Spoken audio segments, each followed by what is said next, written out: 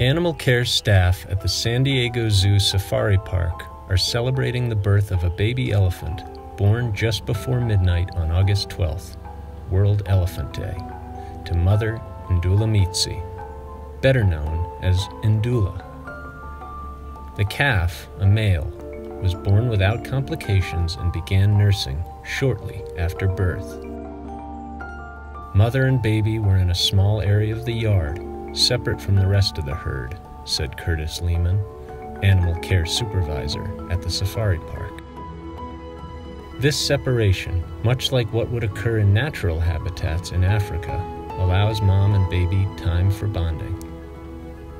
The baby elephant named Mzula Zuli was weighed by animal care staff and tipped the scales at more than 270 pounds making him the largest elephant calf ever born at the safari park.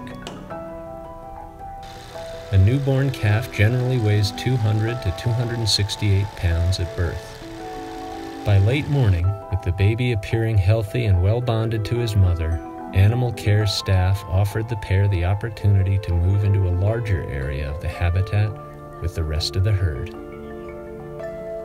This morning's introduction of Zuli to the other 12 elephants in the herd was one of the most endearing animal scenes I have had the privilege of seeing, said Mindy Albright, lead keeper, San Diego Zoo Safari Park. The other elephants were clearly excited to meet the new baby, touching him, trumpeting, and smelling him with their trunks.